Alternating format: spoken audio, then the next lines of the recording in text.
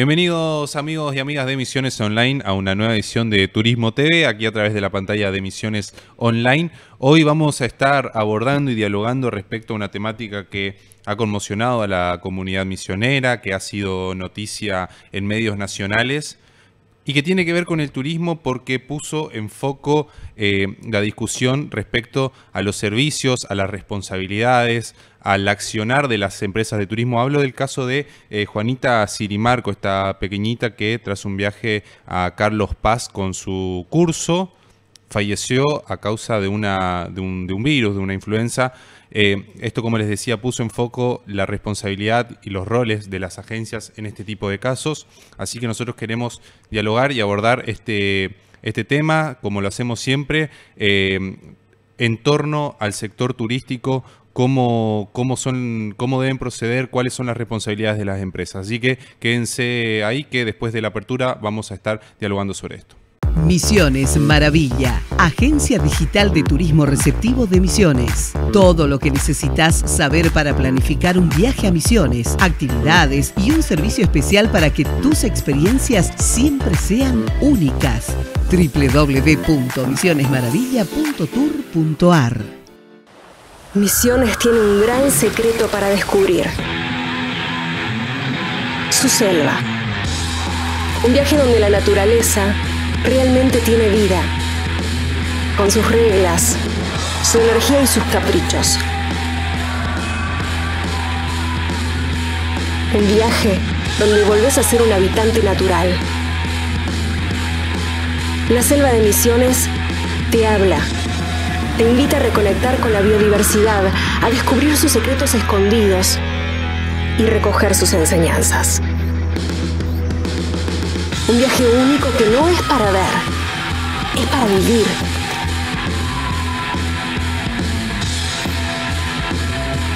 Vivir la naturaleza, pero en su estado más puro. Misiones. Naturaleza, nivel selva. Bueno, y continuando en esta edición de Turismo a través de la pantalla de Misiones Online TV, tenemos la oportunidad de dialogar con Sandra Lescano, quien es la presidenta de la Asociación Misionera de Agencias de Viajes y Turismo, la MAT. Eh, porque bueno, el caso de Juanita ha conmocionado a la comunidad y ha puesto un poco el foco en las agencias de viaje, cómo deben proceder, si les cabe o no responsabilidad en este tipo de hechos. Por eso queríamos eh, consultarle a ella y que nos dé su, punto de vista. Buena, buenas tardes, eh, Sandra, ¿cómo andás? Hola, buen día, ¿qué tal? ¿Cómo están todos? ¿Todo bien? Buen día, sí. Eh, bueno, tomaron conocimiento desde la, desde la asociación de este caso. ¿Qué se le podría decir o cómo se le podría llevar de algún modo tranquilidad a los padres que están preocupados por este tipo de situaciones? ¿Cómo es el proceder de las empresas eh, y las agencias de viajes en este caso o cómo deberían ser para, para bueno, llevar un poco de tranquilidad y entender también eh, qué, fue lo que pasó? ¿Qué tal? ¿Cómo están? Bueno, a ver, eh, tenemos que decir que ahora, lamentablemente, a partir de diciembre, con la, ley de regulación del DNU, eh, la, tenemos, o sea, no, sé si lamentablemente, pero hay que explicar a la gente que a partir de la regulación que puso este, este gobierno, nosotros eh, se ha derogado la ley de turismo general, estamos hablando que la ley de turismo general a su vez depende también el, eh, parte de esa ley de turismo está encausada con la ley, la ley de turismo eh, de, de, estudiantil. Claro.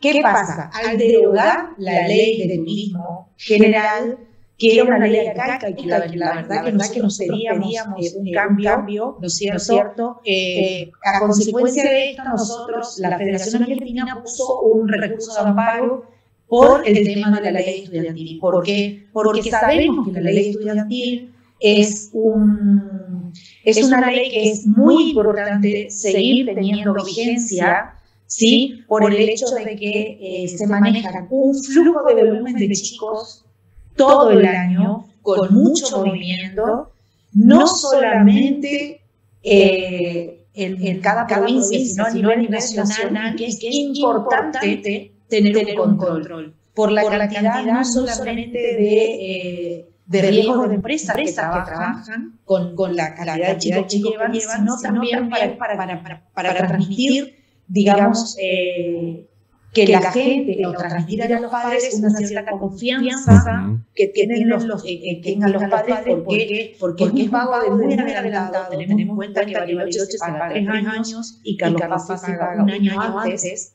Entonces, transmitir la confianza que hay a través de esta ley de turismo de Uh -huh. Hay que aclarar, en este, en este caso, de que hay, hay dos, dos, tipos de, de, dos tipos de, de digamos, de especificación o de trabajo. Uno es la, el, el, viaje de turismo estudiantil y otro es el viaje de turismo educativo. ¿sí? ¿Cuál es la diferenciación entre los dos?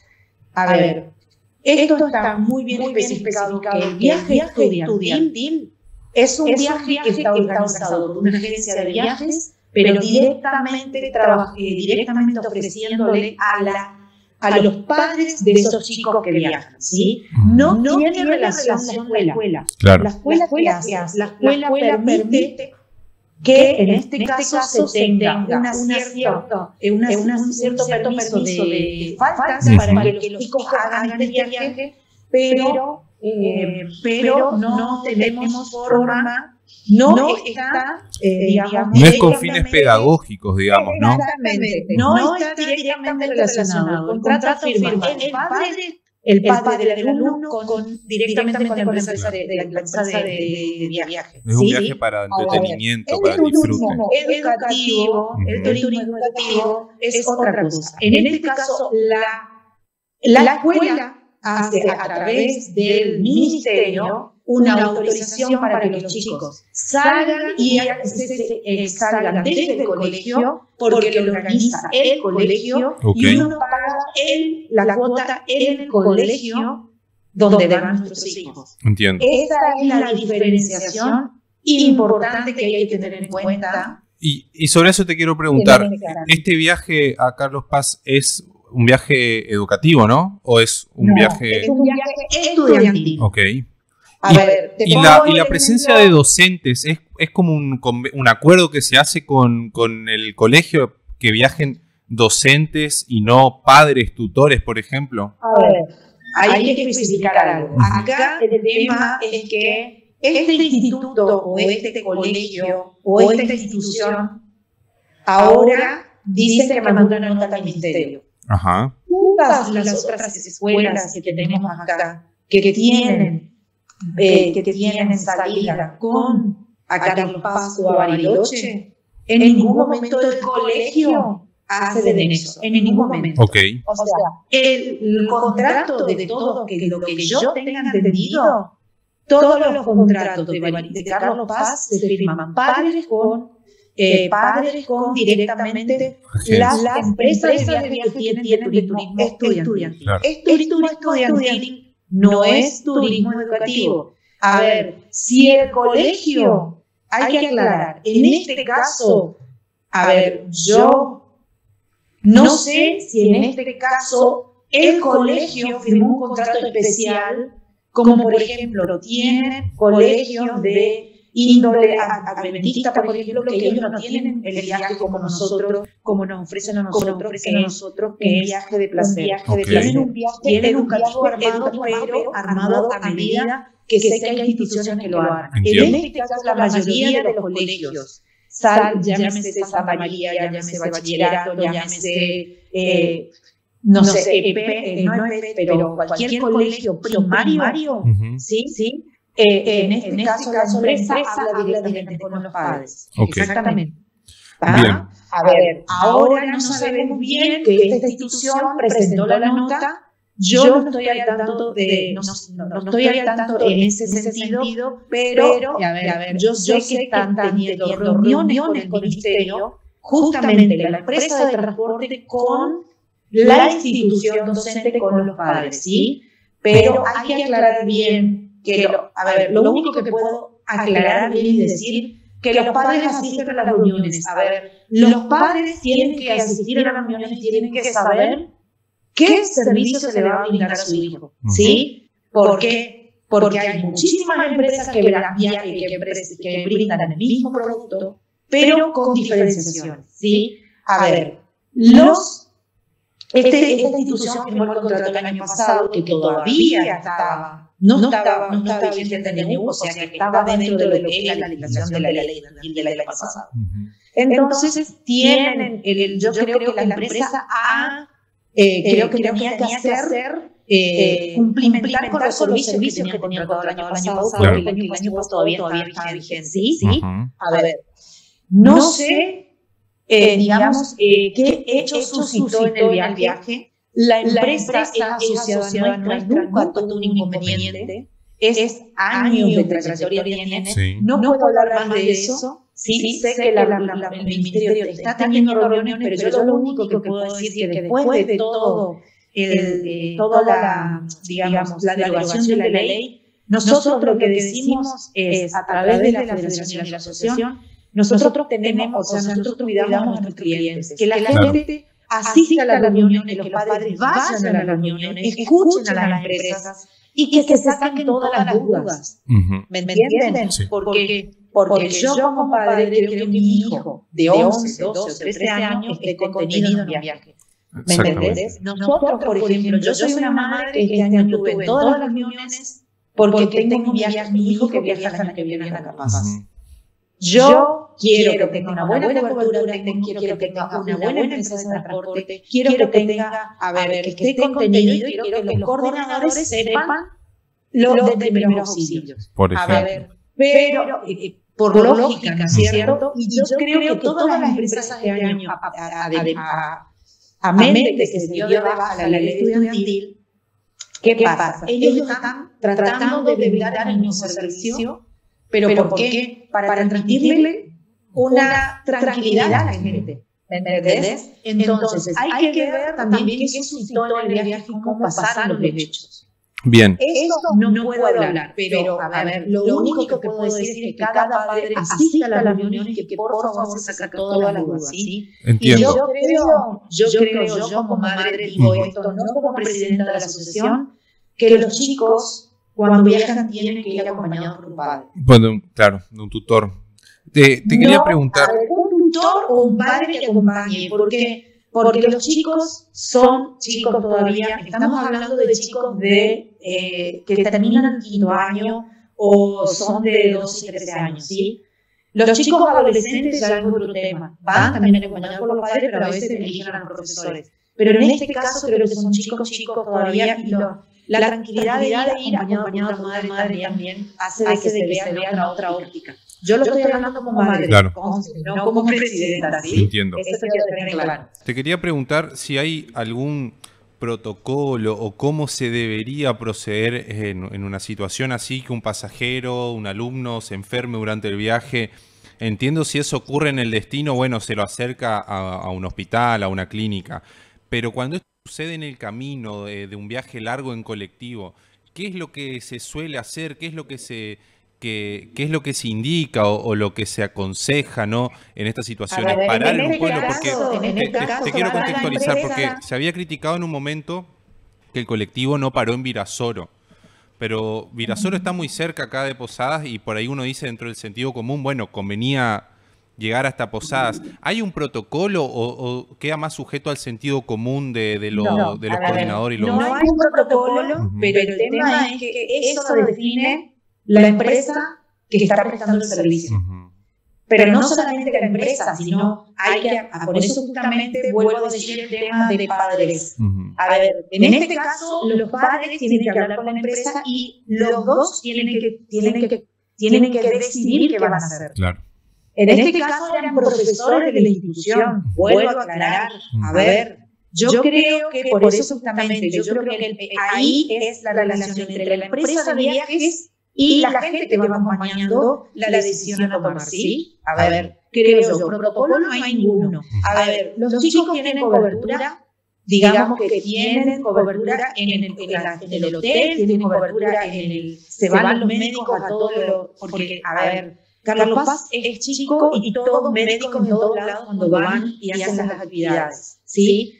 porque sé, porque sé de, colegas ya que me explican, ¿cierto? Pero a ver, en el tema, tema del colectivo, por el tema, del transporte, por el tema del tema del tema del los y el tema de la persona que va acompañando, ellos tienen que tomar la decisión hablando entre los dos, las, personas que van acompañando al grupo, que van a, qué, qué decisión tomar.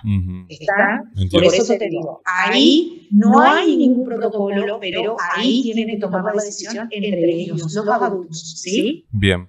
Eh, en los últimos días eh, trascendió la noticia, eh, no quedó muy claro, quería preguntarte si vos tenías algo de información desde la asociación de que el ministerio quiere pedir la suspensión de la agencia que organizó este viaje. ¿Ustedes desde la asociación tienen algo de información respecto a esto? No, no, no, no. no. Sé, que están trabajando y están hablando y están haciendo el cargo, pero todavía eso no tengo, no tengo, novedades. Bien.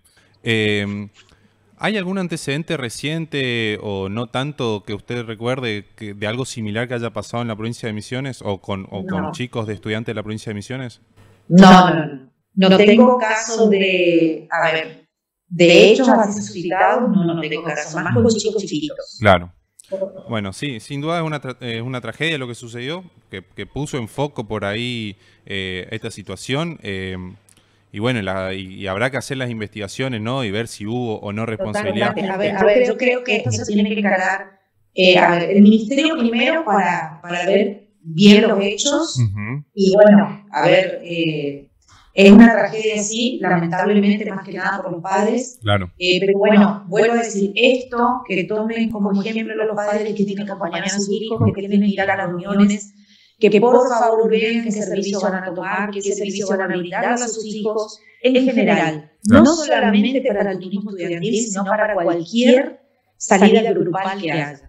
Porque, a ver, hoy por hoy hay que decir que la gente no hay ninguna reglamentación, la gente puede comprar en cualquier lado y quiera o no, nadie da garantía de nada. Porque el turismo es el único servicio que se, pide, se paga por adelantado y no llevas nada hasta el momento que se brinda el servicio. Claro. Y esto hay que tener en cuenta que la gente tiene que tener prudencia dónde compra, con quién compra. Por eso justamente nosotros siempre decimos, a ver, el registro está, se hizo un registro nacional, se está trabajando ahora con el Ministerio para hacer un registro provincial, pero la gente acá hablamos más que nada para conservar los clientes. La gente tiene que tener prudencia donde comprar. ¿sí? Es lo único que puedo decir. Está porque nosotros queremos conservar tanto a los clientes y decir a la gente que compra los viajes que tengan en cuenta a dónde y cómo compra. ¿Sí? Bien, excelente, Sandra, muy claro. Gracias, gracias por tu tiempo y por, tus explicaciones. perfecto. Muchísimas gracias. Hasta luego. Hasta luego. Bueno, está ahí entonces la palabra de Sandra Lescano, quien es presidente de la Asociación Misionera de Agencias de Viajes y Turismo. Eh, bueno, quédense que después de esta breve pausa vamos a seguir eh, dialogando sobre este tema. Misiones Maravilla, agencia digital de turismo receptivo de Misiones. Todo lo que necesitas saber para planificar un viaje a Misiones, actividades y un servicio especial para que tus experiencias siempre sean únicas. www.misionesmaravilla.tour.ar Misiones tiene un gran secreto para descubrir. Su selva. Un viaje donde la naturaleza realmente tiene vida, con sus reglas, su energía y sus caprichos. Un viaje donde volvés a ser un habitante natural. La selva de Misiones te habla, te invita a reconectar con la biodiversidad, a descubrir sus secretos escondidos y recoger sus enseñanzas. Un viaje único que no es para ver, es para vivir.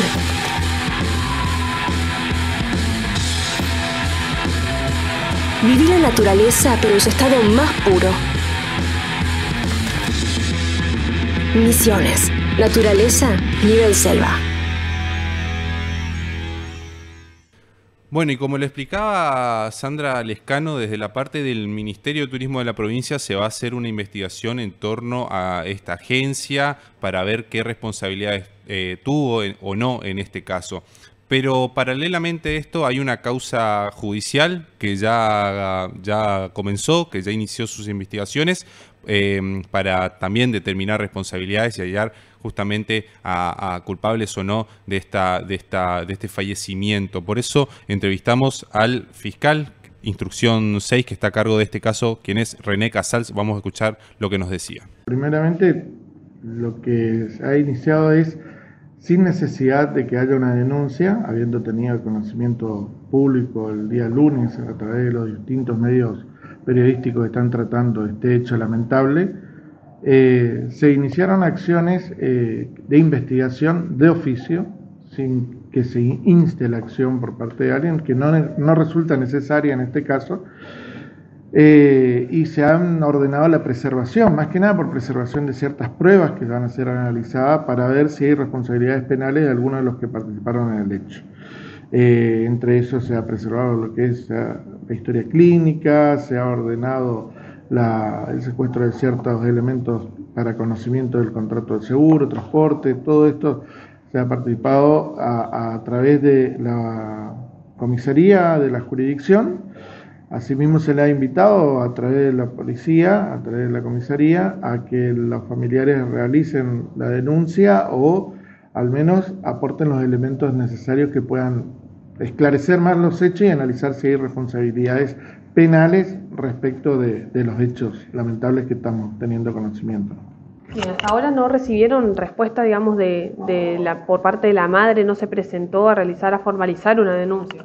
Al menos acá por fiscalía no se ha presentado. Está disponible esta fiscalía para cuando ella lo desee, quiera venir a hacer una ampliación de denuncia y aportar aquellos elementos que obviamente cuentan ellos. Eh, si quiere adelantar, pero oportunamente, más allá que se presente o no, va a ser citada por las investigaciones que se están realizando. Eh, pero sí, bueno, actuamos por, por la trascendencia que tuvo esto, que hay posiblemente no se vislumbra un hecho doloso, pero sí por lo menos hay un hecho eh, culposo que tiene consecuencias, que podría llegar a tener consecuencias penales. Y eso por eso justamente se está analizando ante, ante los dichos, ¿no? tanto de la Fiscalía como el juzgado que dio la apertura de este expediente, de este sumario judicial que, se está iniciando y se está ordenando todas las medidas con, a través de su señoría el doctor Valor, que, ordena a la policía, el el recupero de todos estos elementos probatorios. ¿no? ¿Qué, quiere decir un hecho doloso? ¿A qué se refiere eso?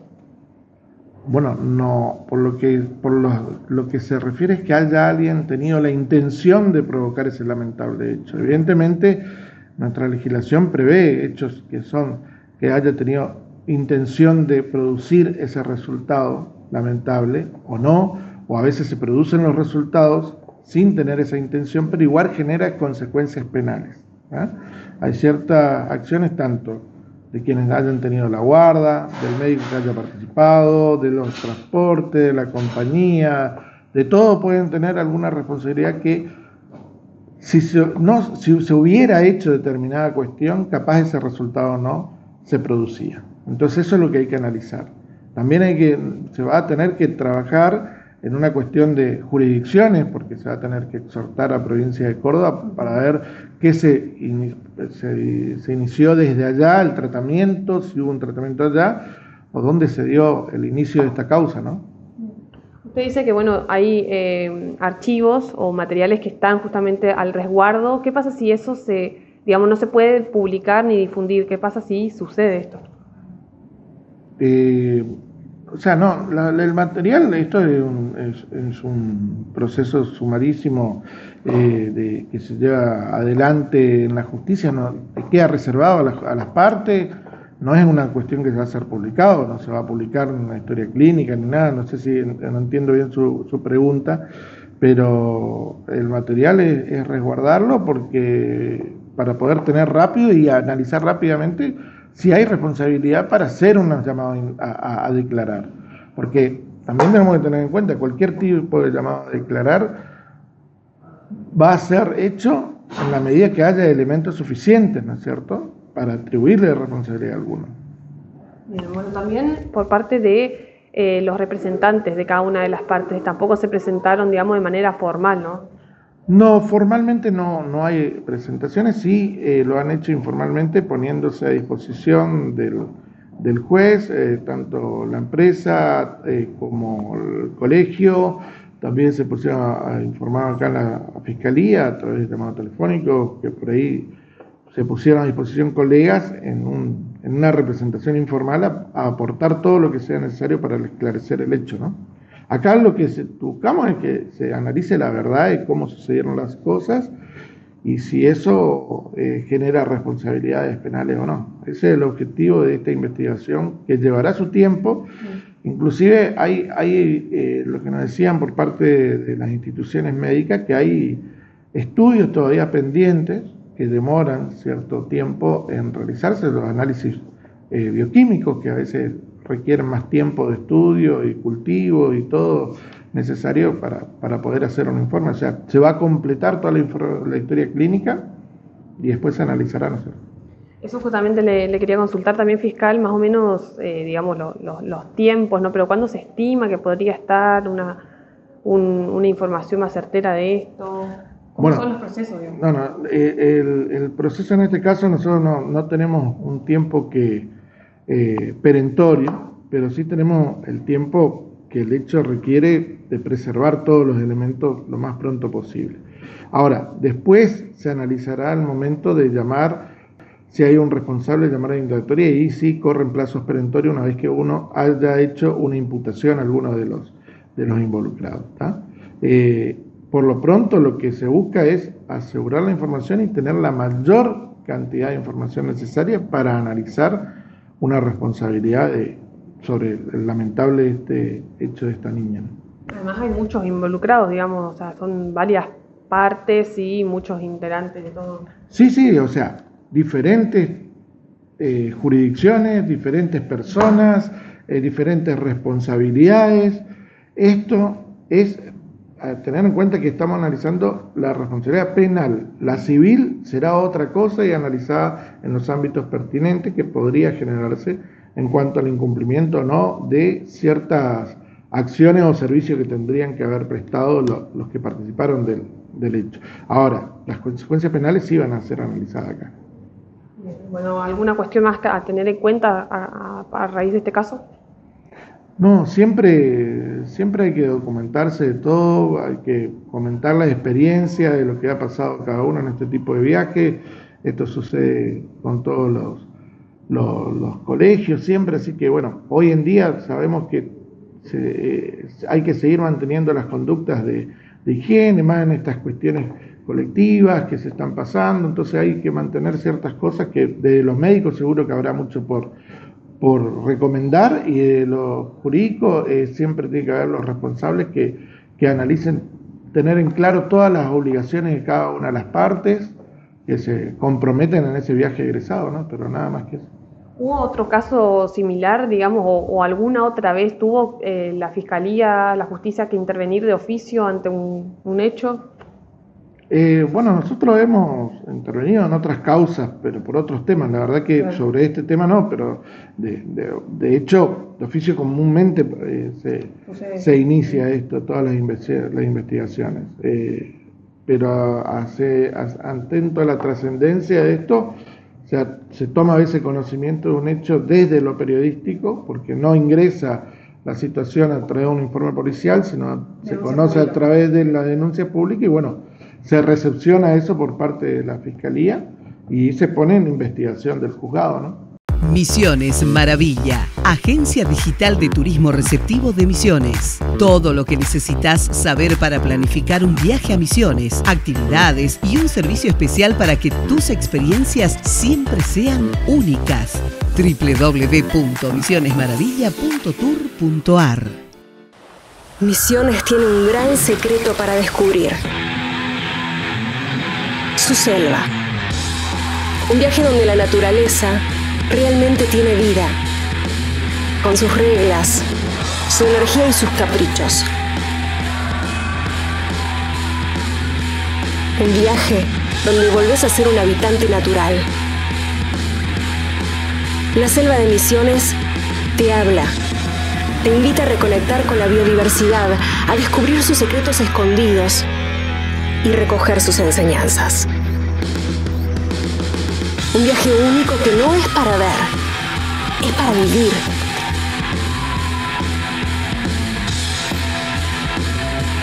Vivir la naturaleza, pero en su estado más puro. Misiones. Naturaleza, nivel selva. También para contextualizar un poco y entender de qué se trata eh, este caso, dialogamos con Oscar López, quien es infectólogo y nos contó de qué se trata la influenza B y este, este virus ¿no? que le diagnosticaron a Juanita. Eh, el doctor explicó cómo es el cuadro, cuáles son los síntomas y cómo identificarlo. Vamos a escucharlo. Bueno, el, virus de influenza hay cuatro serotipos, el A, el B, el C y el D. Los que son los que afectan a humanos son el serotipo A y el B. Eh, es, un, es, un, virus que produce una gripe. Los síntomas son similares a los de una gripe. O sea, fiebre, igual que la angina, igual que la mononucleosis. La diferencia es que la fiebre dura un par de días, dos o tres días. Después hay un cuadro de compromiso del estado general con dolor de cabeza, dolor de cuerpo, mialgia, o sea, dolores musculares, eh, puede haber algunos síntomas abdominales como náuseas, vómitos, pueden existir, y después de, además de la congestión nasal. Y después de eso viene una fase que se llama catarral, donde hay compromiso de los bronquios, de la nariz, y donde uno empieza a expectorar y a, eliminar tos, eh, perdón, a eliminar catarro. Eh, esta es una enfermedad también autolimitada, salvo situaciones especiales, como son, por ejemplo, los niños inmunosuprimidos, aquellos niños que están cursando un cáncer, que están tomando algún remedio porque tienen un problema renal o porque tienen una enfermedad reumática. En esos casos son niños que están tomando medicación inmunosupresora o son diabéticos o son obesos. En esos casos, o es un asmático grave, son niños a donde sí se recomienda usar el oseltamivir. No en todos los que dé positivo el virus de influenza B, ni el B, ni el A, ni el otro B, ni el H1N1. Solo esos niños son los que van a recibir un tratamiento antiviral. Eh, eh, vuelvo a decirte, es autolimitada, dura 7 a 10 días la evolución de la enfermedad. Los dos o tres primeros días es cuando el niño pero está, porque está con fiebre y con mucho compromiso del estudio general. Y después de eso empieza la fase catarral, donde el niño empieza a expectorar y a toser y a sacar catarro. Dependiendo la edad del niño, eh, va a haber mayor compromiso pulmonar. En un latente pequeño, el moco puede obstruir los bronquios, que son de muy pequeño calibre, y entonces producir cuadros con mayor compromiso respiratorio. Es importante que sepamos que hay una vacuna que se otorga en forma gratuita a un cierto grupo de niños, que es la vacuna antigripal, que tiene un componente para el H1N1, el H3N2, que son los dos influenza A, y uno de los influenza B. Hay dos influenza B, te decía yo al principio, la vacuna esta cubre para uno de esos influenza B. En el medio privado hay una vacuna que cubre los dos influenza B y los dos A que te mencionaba recién. Esta vacuna uno por ahí suele escuchar decir, no, ¿qué te voy a poner la vacuna ahora si mira, estamos en septiembre, se viene el verano? Hemos tenido en el año 22-23, creo que fue post pandemia, en enero un brote de gripe por influenza A, el H1N1. Por lo tanto, ha cambiado mucho la, la, la ecología de los virus después de la pandemia. Por lo tanto, la recomendación es que aquellos que tienen indicado o aquellos que quieran colocarse la vacuna y la puedan comprar, deben colocarse la vacuna antigripal. Bueno, hasta acá entonces la información de esta semana en Turismo TV a través de la pantalla de Misiones Online. Los invitamos a que nos acompañen nuevamente el domingo que viene a través de esta misma señal. Quedan ustedes eh, más que invitados. Tengan una excelente semana.